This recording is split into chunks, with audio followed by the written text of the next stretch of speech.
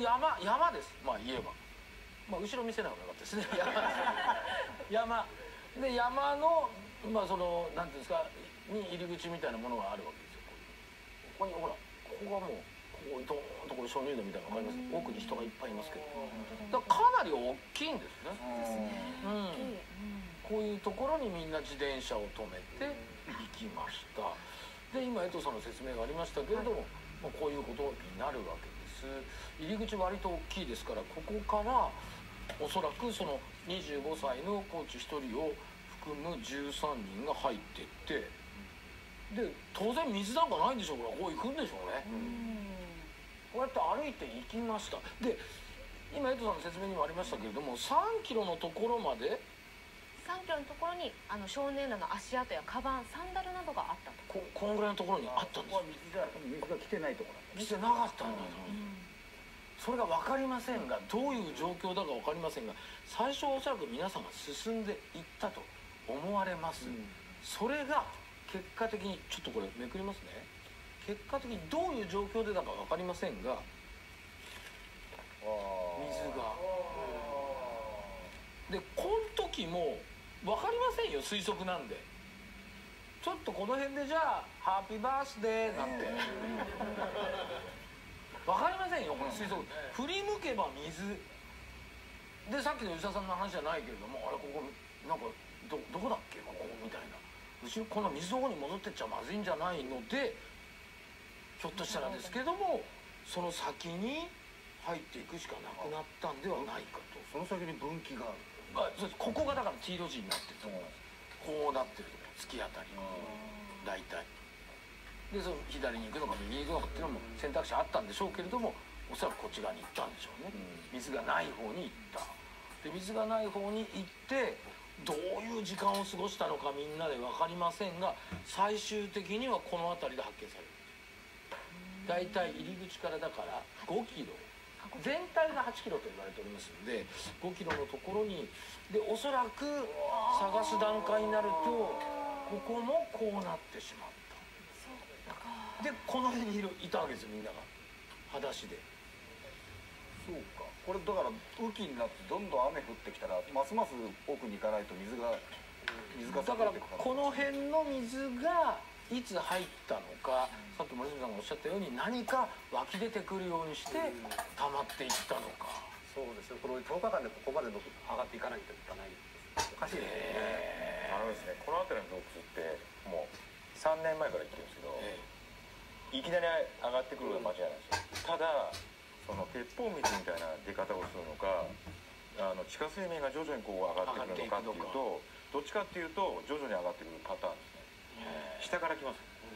でこの下がってるところも全体的に同じようにこう増えていく感じですね。で流れがほとんどない。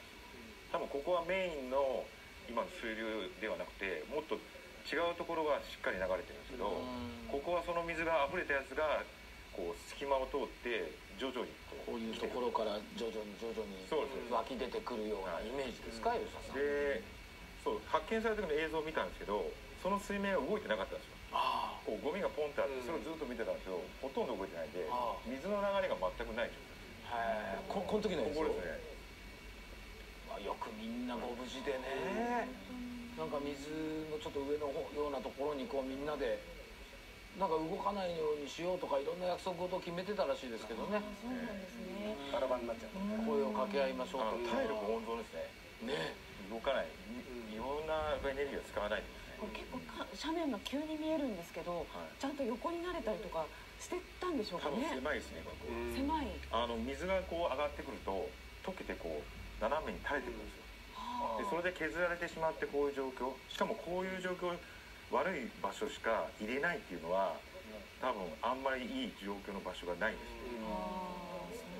えだからその先にある何でしたっけ？このパタヤビーチってなんで洞窟の中でビーチって言ったのか。分かりませんけどそこはちょっと広くなってるでもそれちょっとこう登ってその通称パタヤビーチにいると言われてるんです。と言われてる。んですよねそうなんですよ。ちょっとあの盛り上がってるところこういうところにねこういう空間があるんですよね。そこにそこまでだから行くしかなかった。それ以上奥行けるかどうかもわかららなないいですよねいけると思いますねあ奥はまだあるはい一応こうじあの上からの地図ではこうやって洞窟の中心部がこの辺らしくてまだずーっとあるらしいんですよ。ただどのぐらいの幅とかそんなはいはい。上がってるかどうかそうもそう。わかんないその奥もまた水浸しかもしれないかもしれませんね。というような、まあ、状況だったと、そうですね。だから行くのが大変なわけですよ。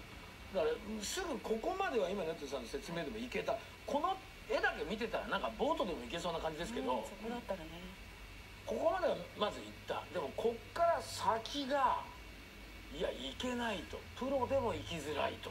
操作はなかなかいかない進まないということで、ダイバーも世界各国のさまざまな方々が協力に入ったんですが9日経ってようやく発見できたということなんですよね。ここまで行ったけども行けません。だからタイのダイバーがはい。加わりました、でも雨がすごいからやめましょう、で26日今度は3キロ先あと26日で3キロ先まで行はい、T 字路まで到達しました。ですがこれ水が押し寄せて狭い隙間を塞いでいたために結局撤退してしだまうここまでは2日なんだけど、こっからがだから1週間ぐらいかかってる。